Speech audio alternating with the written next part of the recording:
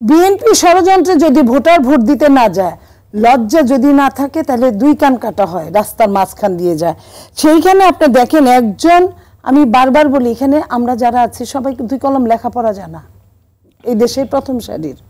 সেই জায়গায় আপনি মনে করেন যে একটা হিরো আলম, আওয়ামী লীগকে এর আর লজ্জার কিছু আছে বলার? এত দেউলি একটা দল আওয়ামী লীগ, যে একটা হিরো আলম দেখায় দিছে তার সাথে আওয়ামী লীগ ফেল করছে। মানে হিরো আলম যে প্রার্থী হলো এক্ষেত্রে বিএনপির কোনো ষড়যন্ত্র নেই তো? হিরো আলম প্রার্থী হলো আওয়ামী লীগ তার বৈধতা দিয়েছে আওয়ামী লীগে ওর বৈধতা নিয়ে প্রার্থী হয়েছে। বিএনপির এখানে ষড়যন্ত্র থাকবে বিএনপি তো ভোটই দিতে যায় নাই।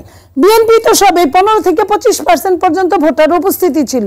প্রথম দুই তিন ঘণ্টার মধ্যে দুই চারজন পাঁচজন ভোটার ভোট দিতে যায় নাই। সিসি বলছে সিসি নিজের ভাষায় যে পনেরো থেকে পঁচিশ পার্সেন্ট ভোটার ছিল সেই জায়গায় যে ভোটগুলো পাইছে সব হিরো আলম পাইছে। হিরো আলম বলছে আমার সার ডাকতে হবে বলে আমার ফেল করাইলো। এবং শুধু তাই না ফেল করার মধ্যেও আওয়ামী লীগ তো সর্বাগ্রে।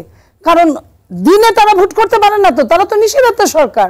তারা রাতের একটা হিরো আলমের সঙ্গে যারা নির্বাচন করতে পারে না আমি ধিক্কার দিতে ভাষা হারায় ফেলছি যে তারা কতটা দেউলিয়া হলে আওয়ামী লীগ।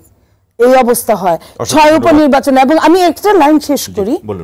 তারা যে একটা মডেল চালু করেছে উকিল আব্দুল সাত্তার দিয়ে এই উকিল মডেল এই উকিল মডেল দিয়ে আগামীতে তারা নির্বাচনের চোদ্দতে তারা বিনা ভোটে পাশ করছে। আঠারোতে তারা নিশিরাইতে পাশ করছে এইবার তারা এরকম মডেল বানানোর পায় তারা করছে।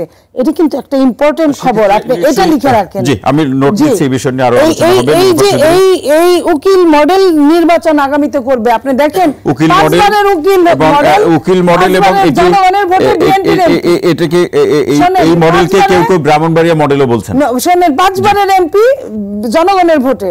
আর এইবার কারা? আওয়ামী লীগের নেতারা নিজে গড়ে অবস্থানকে কোথায় নিয়ে দাঁড় করাইছে দেউলিয়া দল? এই দেউলিয়া পার্টি নিজেদের ক্যান্ডিডেট দেয় নাই। শেখ মুজিবুর রহমান সাহেব কি বলেছেন? সবাই পায় সোনার খুনি, আমি পেয়েছি চুরের খুনি। সাড়ে সাত কোটি মানুষ, আট কোটি কম্বল, আমার কম্বল কোথায়? চুয়াত্তরের দুর্ভিক্ষ। আপনি মনে করেন, এগুলা থেকে কি বোঝা যায়? তারা দেশ কি না শাসন করতে পেরেছিল? না দেশকে ভালোবাসতে পেরেছিল? ভালোবাসতে পারলে তো যুদ্ধই করতো। তাদের প্রথম সারির নেতাদের প্রেসিডিয়াম মেম্বারদের দেখেন তো কয়টা মেম্বার আপনার, তারা যুদ্ধের সাথে ছিল এবং কয়জন তারা আত্মীয় স্বজন মিলে রাজাকারদের সাথে ছিল? আপনি হিসাব করেন। আপনি অনেক ওইখানে পাবেন। যারা প্রেসিডিয়াম সদস্য থেকে শুরু করে অনেকেই। তো এই যে তারা, তারাই বলে, কারণ ওই যে ঠাকুর ঘরে কে আমি কলা খাই না। তারা নিজেরা এই কাজগুলা করেছে। এখন তারা ঠাকুর ঘরের খোঁজ খবর তারা খুব ভালো নিতে জানে।